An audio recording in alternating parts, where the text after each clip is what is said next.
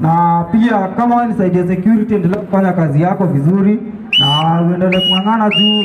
Aujui the next 5 years and the next 3 or 5 years inaweza kuwa faa na inaweza kuwa ni show itakuwa na host wa place. Kama Carnival, tunaenda enda California so kama pia kama mtafute tickets mkuwe na passports bana juu in the next two or three years hiyo hiyo show itakuwa inafanyika mbalimbali. mbali. So hii show basically it's a local show na in each and every area kuna local people, hao ndio kazi yetu kuwa entertain.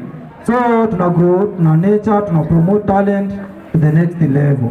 Hatulipishangi kwa show yetu ku attend but in the, in the near future kuna vile mtakuwa mnalipa entrance, mtakuwa mnanunua hizi muziki, mtakuwa pia mna promote wasanii through the merchandise.